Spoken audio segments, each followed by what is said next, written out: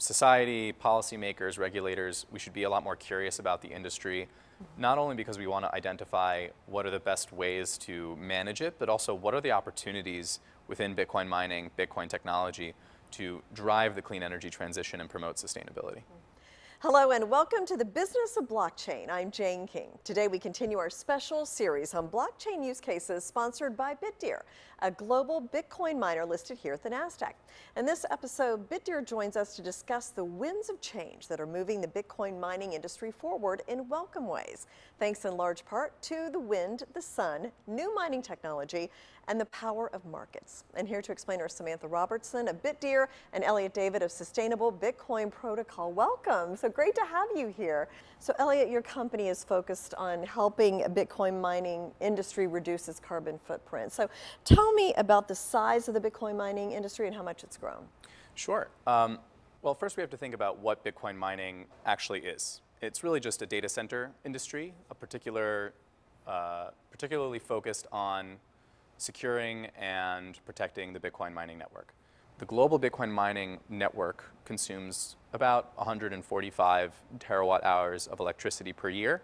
Um, that's about 0.25% of global energy. If we put that into context, compared to an industry like cement, it's you know one one thousandth of one percent, some some extremely small number of global emissions. But because we all care about climate change, we want to decarbonize the economy.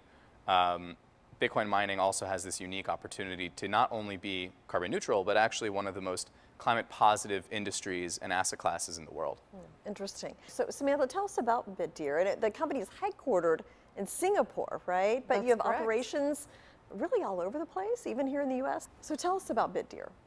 Bitdeer is headquartered in Singapore, and what makes our company really unique is that the founder of our company is a guy named Jihan Wu, and he's someone you could think of as the Warren Buffett of Bitcoin. He's been there since the beginning and is somebody who really understands the market cycles, which is critical when you're dealing with a commodity.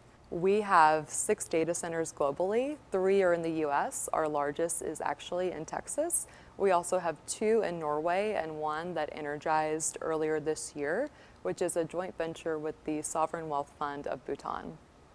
So we've all seen the headlines. Bitcoin mining uses as much energy as a small country. It sounds alarming, but what do the headlines get wrong about that? Yeah, I think what a lot of the headlines get wrong about the industry stem largely from a lack of education. Um, you might have seen headlines saying that Bitcoin mining was going to use up all of the world's electricity by 2020, or that it was going to boil the world's oceans. Um, obviously, that has not turned out to be true. Um, I think that society, policymakers, regulators, we should be a lot more curious about the industry, not only because we want to identify what are the best ways to manage it, but also what are the opportunities within Bitcoin mining, Bitcoin technology to drive the clean energy transition and promote sustainability. Talk to me about what you're doing in Texas and how that fits into this whole sustainability story. Yes, I think that it is um, probably a surprise to most people that uh, Texas has the largest um, renewable energy portfolio in the US because all of that is market driven. It's not um, a renewable portfolio standard that's coming from uh, political motivations. An important feature of our operations in Texas is our ability to participate in the demand response market, which is separate from the energy market but allows the grid operator to procure reliability services.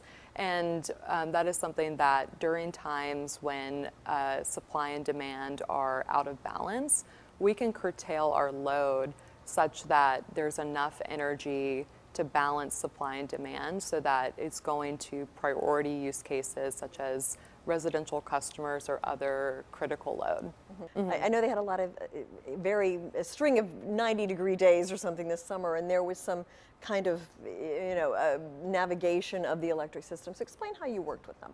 Sure. So um, this was a the second hottest summer on record in Texas. There were, I think, 40 consecutive days of triple digit temperatures. So essentially what we would do is um, curtail for several hours a day in the afternoon so as to avoid this idea of peak time on the grid. Um, but the second was, um, and this has something to do with renewable penetration, is in the evening hours, when solar starts to come offline and the sun sets, there's typically a mismatch or an imbalance of supply and demand on the grid. And we were also available to curtail, again, as a feature of that reliability service, such that whenever the grid operator needed us to, we would come offline. The energy industry is starting to see the value of essentially a load that we can design uh, as complementary as we want to the grid because historically there hasn't been that, right? If you had demand response, it would be coming from hospitals or factories, but there never before has been a load that could monetize electricity into a globally liquid currency in a way that is fully interruptible, fully location agnostic, and completely flexible. And for that reason, Bitcoin mining is the ideal demand response load.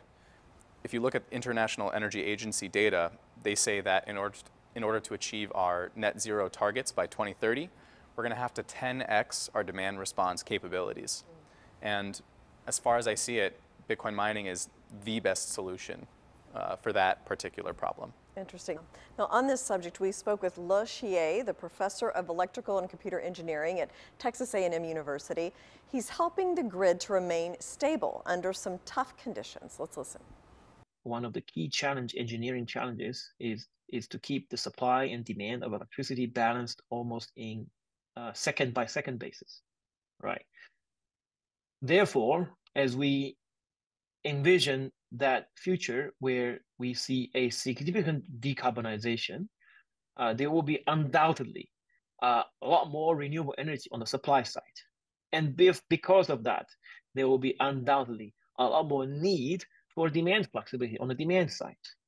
So whatever tools that we have at our disposal, we need to have an all hands on deck approach to getting as much demand flexibility as we could. And, uh, you know, there has been quite a few large miners, Bitdeer being one of them, uh, which have responded uh, quite strongly to the grid dispatch uh, signals that is uh, during those uh, stressed moments. And I think these are promising signs that this new emerging demand could be utilized for grid flexibility purposes.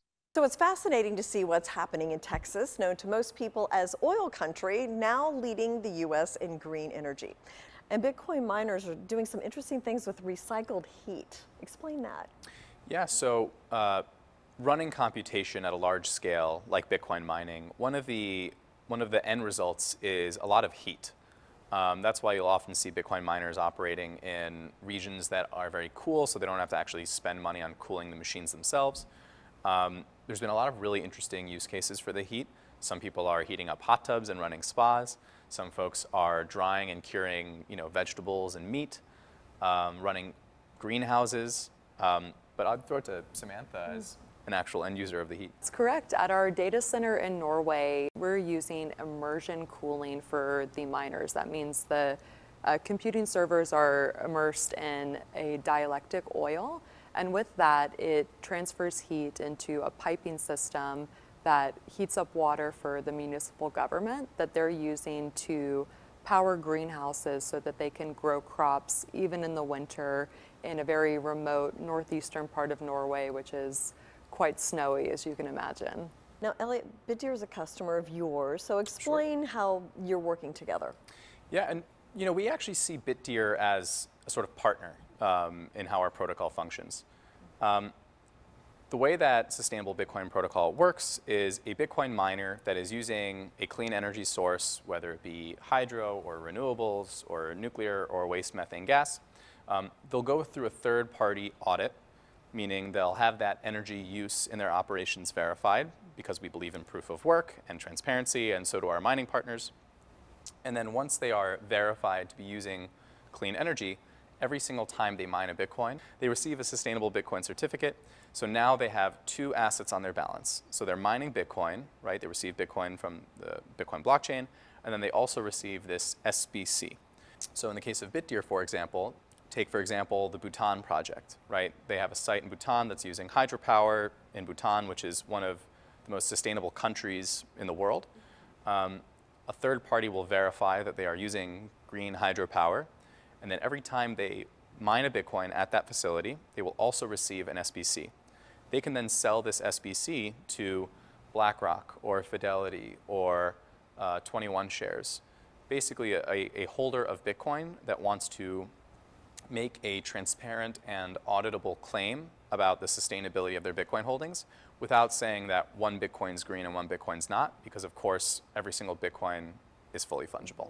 Well, thank you so much, Samantha and Elliot, for coming and explaining. It's truly fascinating to see how Bitcoin mining has evolved over this short time. So thank you so much. And that is it for this edition of the Business of Blockchain. A special thanks to Bitdeer for sponsoring this discussion and our series of videos focused on blockchain use cases. I'm Jane King at the NASDAQ MarketSite.